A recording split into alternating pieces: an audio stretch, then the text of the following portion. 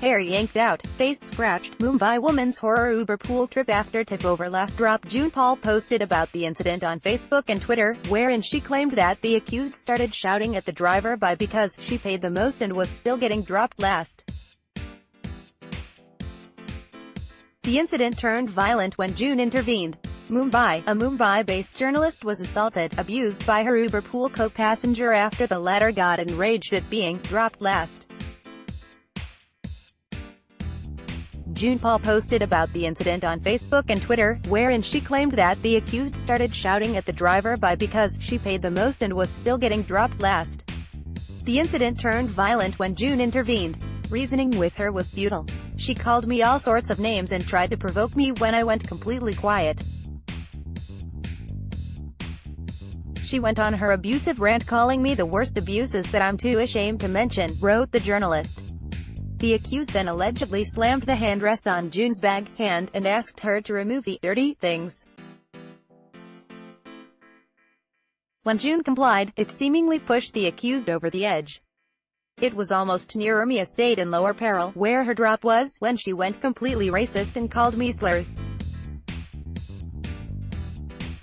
I told her it's racist to which she said, Han TOH. Kya Karlegi, yeah, so? What will you do, said the entertainment journalist. When June tried to click her picture, the aggressive woman snatched the phone and threatened to break it. Before she got out of the cab, the accused attacked June by tearing off lumps of her hair and scratching the journalist's face, hands. Started crying, she hopped off the cab and went inside Urmia Estate. A crowd gathered. The guard of Urmia Estate came to my rescue and asked me to file a police complaint immediately. I was too shocked and was crying hysterically, so it didn't even occur to me that this woman has run away inside her office building. went to Lower Parel Police Station and filed an official FIR, wrote June on Facebook. When the police and the journalist contacted Uber for information on the accused, the company refused stating, customer privacy. I have been physically and verbally assaulted in broad daylight by a complete stranger. The whole back seat of Uber is full of clumps of my hair. I have injuries on my face and hands. I'm definitely psychologically scarred. Uber won't do anything when it comes to my safety. If they don't respect what the Mumbai police are saying to them, I am a mere civilian and definitely, I am not safe, said June.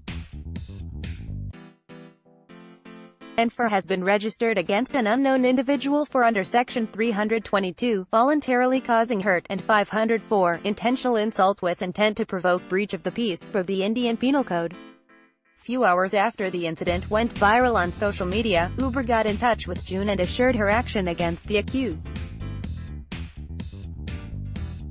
What's been described today is deeply upsetting and is completely against our community guidelines.